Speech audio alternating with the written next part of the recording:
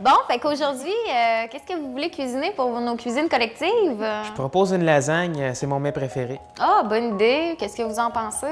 Ouais, moi, j'y mettrais des légumes. Comme ça, ça donnerait un côté un peu plus santé. Là. Poivron, euh, brocoli, zucchini, Peut-être champignons. champignons, oui, tout à fait. OK. Bon, on va se fier aux spéciaux de la semaine euh, pour faire notre liste d'épicerie. Ensuite, il faut aussi se fier euh, à notre inventaire hein, pour voir. euh, Peut-être qu'on aurait reçu des choses de Moisson Québec euh, qu'on pourrait passer dans notre lasagne. Donc, euh, c'était à qui de faire la- l'épicerie? Je pense que c'était à toi? C'est à moi, Oui, ouais. la semaine passée, c'était Isabelle qui est allée. Parfait. Donc, je te remets la liste. Merci. Je t'avais remis euh, l'argent tantôt avec le portefeuille. Fait qu'on se voit vendredi. Yes.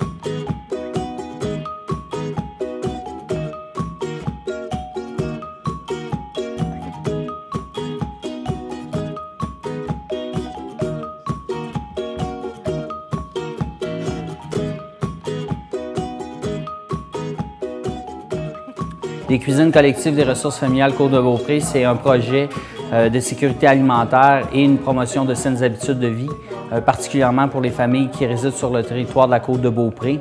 Euh, les cuisines collectives ne sont pas uniquement pour les familles dans le besoin. Ça s'adresse à toutes les catégories de familles qui se trouvent sur le territoire de la Côte de Beaupré.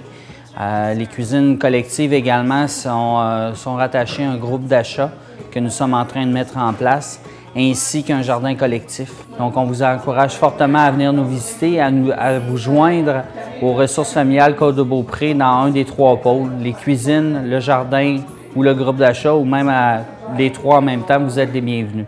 La cuisine collective aussi, ça permet de créer des réseaux d'entraide. Euh, Quand on vient ici, on rencontre des gens qui peuvent ensuite nous aider.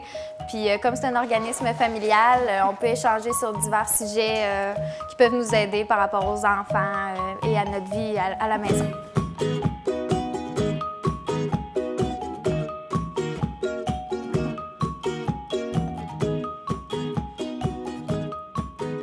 Moi, j'ai commencé en janvier il y a trois ans. J'ai rencontré beaucoup de monde parce que moi, je viens pas d'ici. Alors, euh, quand je suis arrivée, je connaissais personne. Ça m'a permis d'apprendre à connaître euh, plein de monde, d'apprendre à connaître le coin. Alors, euh, m'arriver avec six plats, euh, six plats prêts que je peux congeler puis que je peux sortir au fur et à mesure de la semaine, sérieux, ça, ça m'aide vraiment. Ça me permet de passer plus de temps avec mes enfants puis moins de temps dans la cuisine. Puis, règle générale, ben, c'est des choses qui sont bonnes puis que, je veux dire, euh, que les enfants aiment, là. C'est sûr que les gens qui, qui- qui font la cuisine tout seuls, ils rencontrent pas d'autres personnes. Euh, ils sont tout seuls chez eux, ils font tout le temps leur corvée.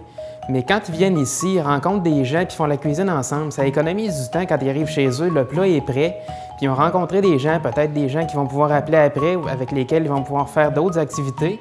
Comme vous avez pu le constater, les cuisines collectives, c'est beaucoup plus que de la cuisine. Nous avons beaucoup de plaisir à cuisiner ensemble et c'est accessible à tous.